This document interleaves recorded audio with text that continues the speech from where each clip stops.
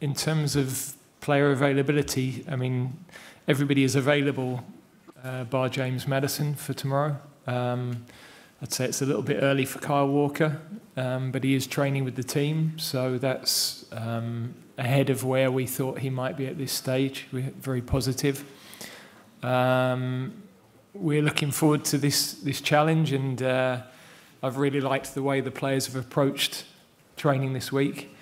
Um, it's it's been uh, a good transition for us because training a couple of days earlier with the heat, which we wanted to adapt to. Now we've had a couple of lighter sessions later at night. It's quite cool now, um, so we feel that that's been a good physical tapering for the game. Um, we have discussed taking the knee. We feel we should.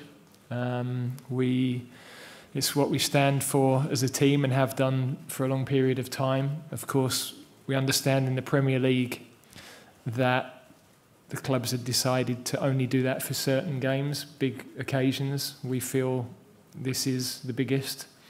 And um, we think it's a strong statement that will go around the world for young people in particular to see that inclusivity is, is very important.